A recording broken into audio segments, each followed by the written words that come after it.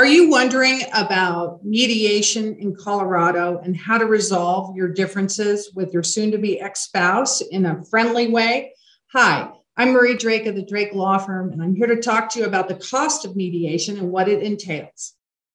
First, you should know that Colorado orders everybody to mediation.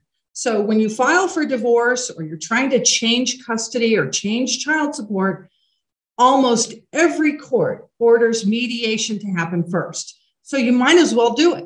And what does that mean?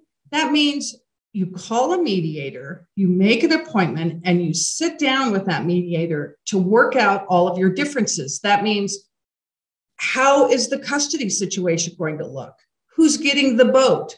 How are you dividing the equity in your house? All of these things are on the table in a mediation and the best way to go into it is thinking how can we create a global agreement about the kids and about what we own and also about what we owe. Mediation is always cheaper than duking it out in court and having a judge tell you what you're going to do with your house and your boat and your children and everything else.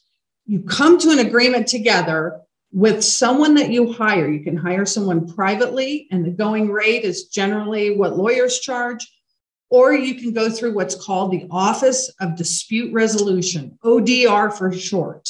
And those mediators are only 150 an hour, so $75 each. You generally split it, and they're wonderful. They're usually the same mediators that you would get for a much higher fee. If you're concerned about the cost of a half day or full day mediation, let me tell you this the cost of going to court and having a hearing or two and having to comply with all the court orders is a lot more expensive.